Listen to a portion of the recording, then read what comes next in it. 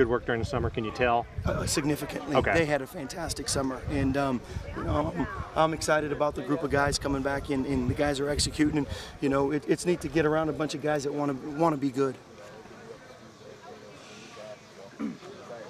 Talk about the, uh, the the fact that none of these guys have had a big season receiving. I mean, do you see this as, as a balanced uh, approach to things, or are you going to try to maybe bring maybe somebody step up? Well, I, I, you know, we had a meeting the other day.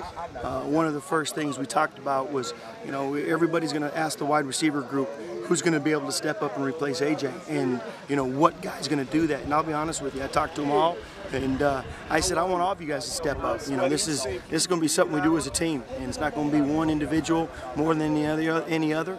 Uh, we've got to go out there and work, and I, I'm excited. They've done a good job in the summertime, and uh, hopefully it translates uh, to having a good camp. The first couple days have been pretty good.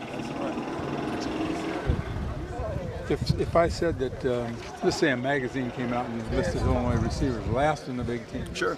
You've probably seen that. Uh, you know, I don't even read the Well, magazines.